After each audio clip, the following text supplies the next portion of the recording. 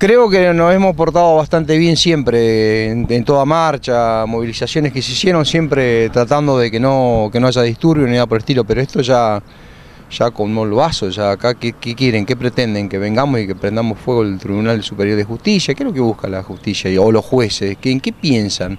¿O ellos están libres de todo esto, de que le maten un hijo o que les pase algo? Uno no le desea el mal a nadie, eh, tratan lo posible de- de ser un, un buen padre de familia, de una, como mi hermana, una madre que siempre trató de educar a sus hijos y todo esto, vos decís, ¿en qué mundo estamos viviendo? ¿Qué es la justicia hoy para, para la gente? Lamentablemente es muy poco creíble todo esto. Tuvieron un encuentro con el gobernador hoy por la mañana. Sí, mi hermana hoy, gracias, por suerte y gracias a Dios, este el gobernador este, eh, recibió eh, a mi hermana y, y a, y a uno de los hijos también. Eh, que sé que bueno, le, le va a dar un.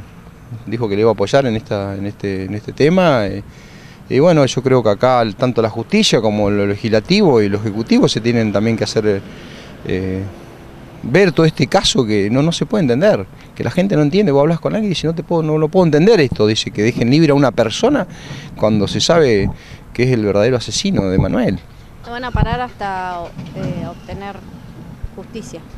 No, no, por supuesto que no, vamos a estar eh, eh, siempre ayudando a mi hermana y apoyándola porque lamentablemente tenemos un gran dolor. Eh, uno, uno siempre trata de estar frío en estos momentos, pero a veces te da ganas de, de explotar porque no podés entenderlo.